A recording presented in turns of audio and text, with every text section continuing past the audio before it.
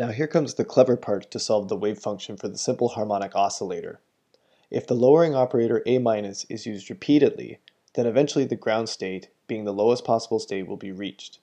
This means that if the lowering operator is applied to the lowest possible state, A- times psi, then the result will be zero. This is because there's no state below the ground state.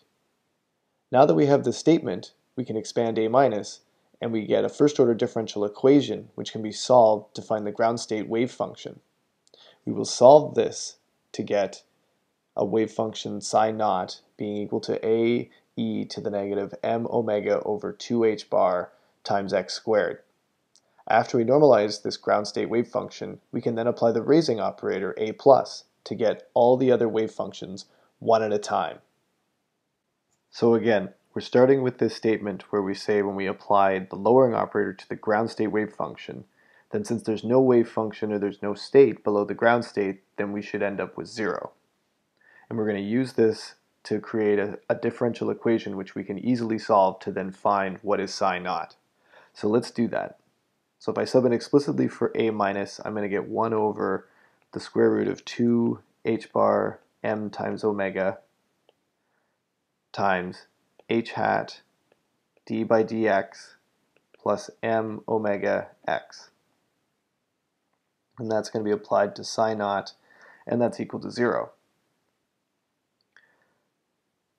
So what I'm going to do is I'm going to distribute in these constants out front, and I'm going to distribute in from the right the psi naught. And so what I'm going to get is h bar over 2m omega, and that's all inside a square root. I'm going to have d psi naught by dx. To that I'm going to be adding on to m omega over 2 h bar, all inside a square root, times x times psi naught, and that's equal to 0. I'm going to move the second term to the left, or sorry, to the right hand side.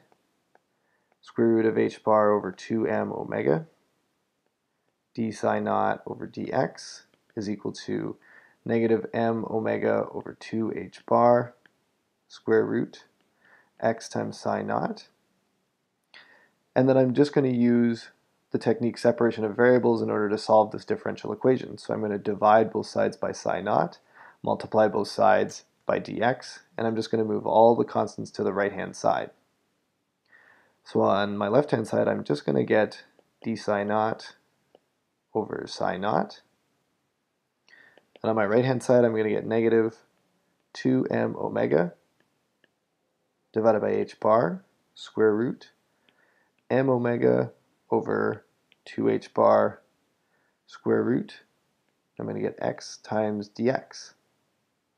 And so in this case, I'm just going to now just integrate both sides. I'm going to also cancel out this 2 on top and this 2 on the bottom.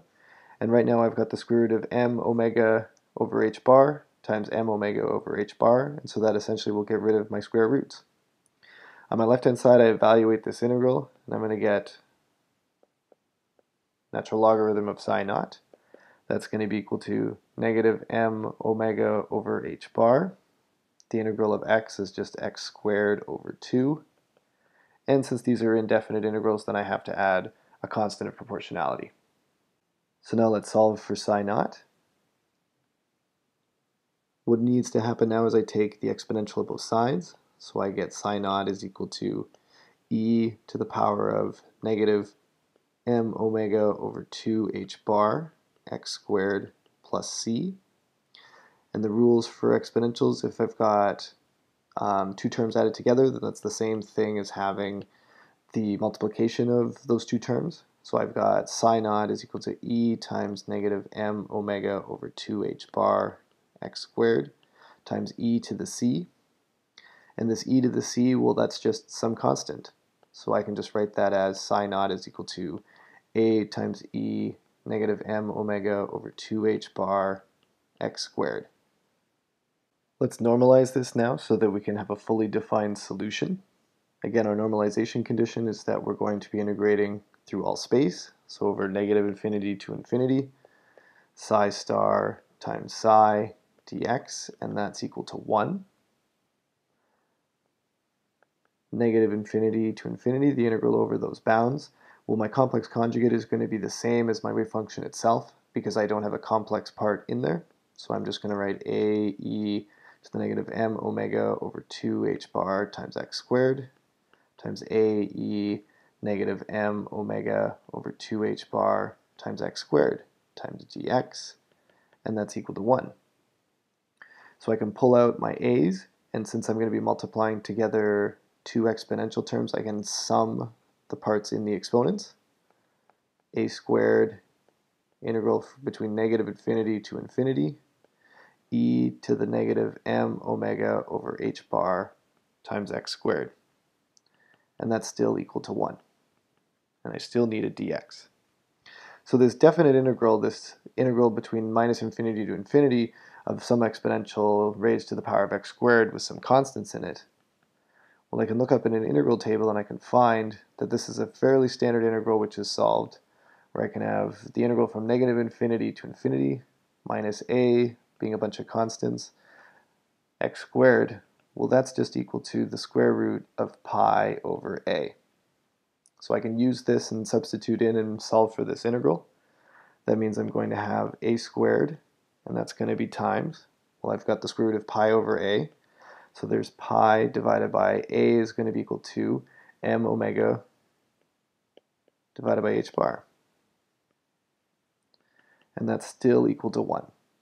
Well, since now I've got pi divided by m omega divided by h bar, then the h bar can go on top. So I'm going to get a squared times the square root of pi h bar divided by m omega, and that's equal to 1. But now I can just move that to the other side. I have to multiply both sides by the square root of m omega divided by pi h bar. a squared is equal to m omega divided by pi h bar times the square root. And then I'm going to take the square root of both sides. So that means then that my a is equal to m omega over pi h bar raised to the power of a quarter, because the square root of a square root is a quarter. That means then my fully defined ground state wave function is going to be equal to m omega over pi h bar to the power of 1 quarter times e to the negative m omega over 2 h bar times x squared. And as you can see, when we were first looking at this problem, we had a second order differential equation that was going to be a very complicated thing to solve. And now by using a little bit of ingenuity, and essentially by using these raising and lowering operators, we were able to very easily solve for this ground state wave function. And now that we have this ground state wave function, all we need to do is apply the raising operator to it, and then we then can sequentially get all the other wave functions.